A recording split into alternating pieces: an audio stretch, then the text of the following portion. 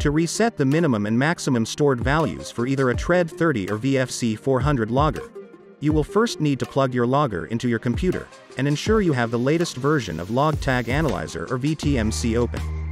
Next, navigate to the top left of the page and select LogTag. Then configure. Once your logger has been recognized, navigate to Advanced Settings and ensure the following box is ticked. Once ticked, select the Configure tab and your settings will be saved. To complete a full reset of the user resettable period, you will first need to press the Review Mark button. This will show a UR symbol on the left-hand side of the screen. This stands for User Resettable. Also displayed on the screen will be the user resettable maximum temperature.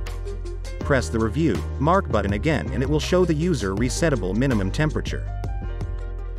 To reset these values, click and hold the Review Mark button and as you hold down the button you will hear a series of short beeps. After approximately 6 seconds you will see MaxMin displayed and you can release the button. The logger will now track the new user resettable minimum and maximum values.